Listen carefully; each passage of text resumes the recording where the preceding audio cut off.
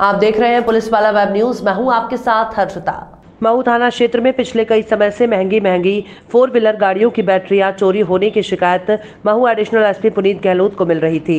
उनके मार्गदर्शन में ऑटो रिक्शा चालक को पकड़ने के निर्देश दिए गए थे। श्री गहलोत ने बताया कि ऑटो रिक्शा चालक ने 17 दिसंबर को बैटरी चुराकर फरार हो गया था। तब से ही पुलिस उसकी सरगर्मी से तलाश में जुटी हुई थी, जहाँ पर पुलिस ने आज दो आरोपियों की तलाश करते हुए त्रिनेत्रम कैमरे के माध्यम से धर दबोचा।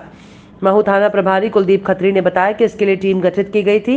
इस टीम में उप निरीक्षक देवेश पाल, प्रधान आरक्षक राकेश चौहान, प्रधान आरक्षक नीरज यादव, आरक्षक हितेश परिहार और आरक्षक वसीम खान के द्वारा सात रास्ता हरी फाटक और किशनगंज नाके के सीसीटीवी कैमरे खंगाले गए।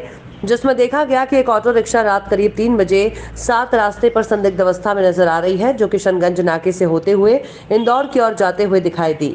उक्त सीसीटीवी कैमरे और मुखबिर की सूचना पर संदिग्ध ऑटो चालक की तलाश की तो हरी फाटक पर आरोपी चंदन मंडल, पिता संतोष मंडल, निवासी राहुल गांधी, नगर इंदौर और उमेश यादव उर्फ़ लक्की, पिता हीरालाल, निवासी पिपलिया राव के साथ पकड़ा गया, जिनके कब्जे से अपराध में चोरी की गई। दोनों बैटरियों को बरामद कर ऑटो रिक्शा भी जब्त किया गया।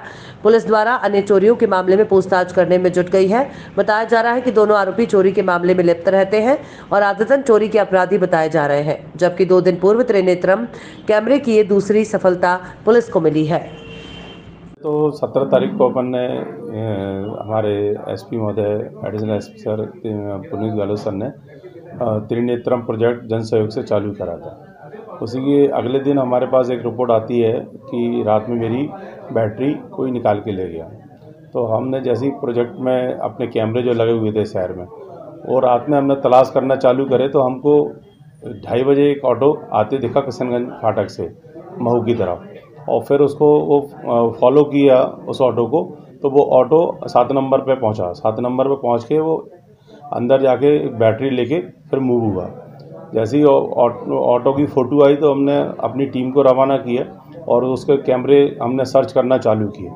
और हमने महू से लेके इंदौर तक के कैमरे सर्च किए, इंदौर तरफ़ जाता दिखा था तो टोल से आगे भी निकला, फिर राहू गए, राहू से इंदौर पर पता चला भवरकुआ साइड में, वो ऑटो इंदौर का था और चोरी करके गया है। और लगातार उसके प्रयास करने के बाद मुखबिर सूचना पर प्राप्ति हो गई वो ऑटो वहाँ से इंदौर से चला है महू की तरफ़। तो चेकिंग लगा के उसको राउंड अप किया गया और जिससे आज दिनांक को उसको पकड़ा गया, जिससे दो बैटरी जब्त की गई हैं। इसी त्रिनेत्रम से हमने अभी कुछ दिन दो दिन पहले ही आ, साइलेंसर चोर भी पकड़ा था। सर त्रिनेत्रम जो प्रोजेक्ट है ये शहर की जनता के लिए क्या फ़ायदेमंद है कि क्या है? त्रिनेत्र प्रोजेक्ट जनता के जन सहयोग से ही लगाया और इसकी बहुत इम्पोर्टेंस थी और इसको जनता ने समझा और सबने कंट्रीब्यूशन करके कैमरे लगाए। और उसके रिज़ल्ट भी बहुत अच्छे आ रहे हैं कि लगातार हम दो चोरी जल्दी से जल्दी हम डिटेक्ट कर पाएँ उसी प्रोजेक्ट के माध्यम से।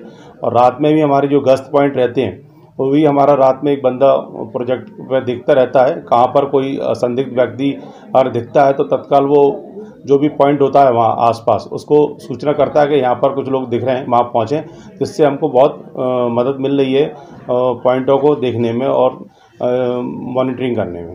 इससे अपराधियों पर